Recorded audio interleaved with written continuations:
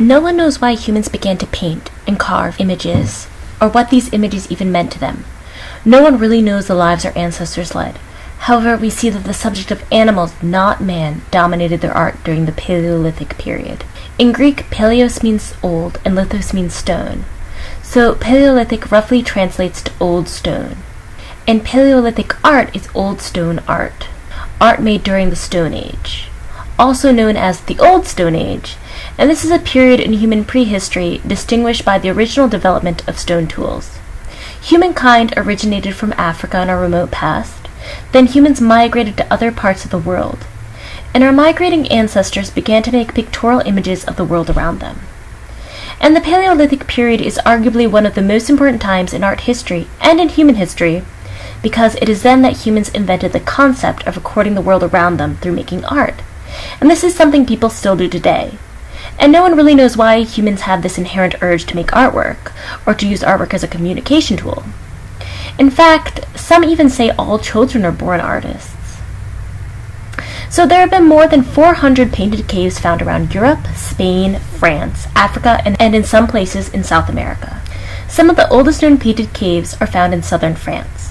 One of the most famous caves found in southern France is the Lascaux Cave and this cave is estimated to date from 17,000 to 20,000 years ago. This cave was discovered in 1940 by four Frenchmen looking for their dog. Their dog had hidden in the cave, and the men followed the dog inside. When they were able to illuminate the cave, they were surprised to find depictions of animals surrounding them. The walls are covered with more than 600 images of wild animals.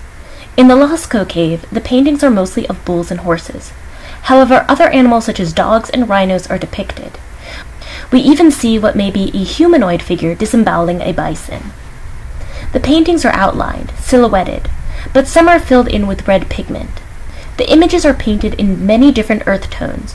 Earth tones are colors such as red, browns, blacks, and yellows. The animals are rendered in a twisted perspective, in which their bodies are depicted in profile, while we see the horns from a more frontal viewpoint. If you look closely, the animals seem to be facing different directions and overlapping each other. This causes art historians to believe that our ancestors continued to paint these at different times of their lives and at different periods of their history. It's important to keep in mind that when we are talking about early human art, there are no definite answers. The subject is very well researched. However, there is still a lot of mystery surrounding the lives our ancient ancestors lived. Historians do not believe our ancestors lived in these caves but dwelt in them from time to time.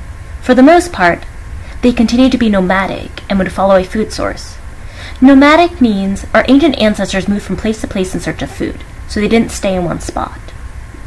Since food is a motivator for life, perhaps our ancient ancestors depicted these animals because they were an important food source to them. Others believe that that's not the case, and that these animals were not hunted by early humans at all, but worshipped by shamans and painted during ritualistic ceremonies. There is new evidence that suggests that many of the paintings were done by women, Another suggestion is that these drawings and paintings were used as a way to communicate other early humans that passed through the area. This is because there have been many repeating symbols found around the world. The original Lascaux cave is blocked off from tourists due to algae growth. There is a replicated cave next door.